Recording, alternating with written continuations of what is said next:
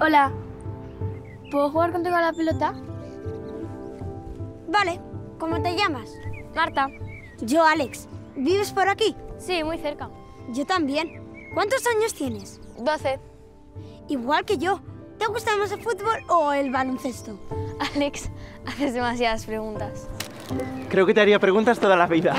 Pues toda la vida da para muchas preguntas. ¿Y siempre serían así de simples o habría alguna interesante? Pues, por ejemplo... ¿Crees en el amor a primera vista? O sea, simples. Lo que quieras, pero no me ha respondido. Soy atea. Eso no me vale. No hablo de Dios. Yo tampoco. Soy atea en el amor. No creo en ninguna clase. A ver, es imposible no creer en el amor.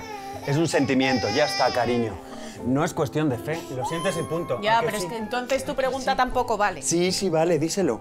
Sí vale, porque te estoy preguntando por un tipo de amor en concreto. Pero que es una cuestión de ciencia, Alex. Que eso que llamas amor no son más que neurotransmisores como la adrenalina, la dopamina, la serotonina. Mira, los estudios demuestran que la primera vez que nos enamoramos, los niveles de serotonina se desploman. Y los centros de recompensa del cerebro se inundan de dopamina, igual que si fuera una droga. Por eso soy atea.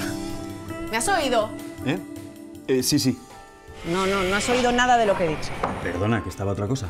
Ya, bueno, sí, siempre estás a otra cosa. No, siempre estoy trabajando. Y tú siempre estás enfadada. ¿Qué dice la ciencia sobre eso? ¿Mm? Pues mira, un estudio explica que el enfado fortalece y oxigena el organismo y que ayuda a que algunos órganos se activen. Exacto. Pero debe ser solo momentáneo, porque si no puede ocasionar un efecto contrario y ser perjudicial para la salud. Efectivamente. Pensé que ya no escuchabas mis teorías científicas. Hace mucho que no me haces preguntas. No es cierto. Nunca he dejado de preguntarte. Solo que algunas las hago en silencio, mientras te miro a los ojos y me enamoro más. O mientras siento la dopamina. Yo también sigo sintiendo la dopamina. Aunque ya no nos queda mucho tiempo para preguntas. No digas eso. Tenemos todo el tiempo del mundo. Tú y yo siempre nos vamos a encontrar. Pero prométeme una cosa. ¿Qué? Que volverás a jugar a la pelota conmigo.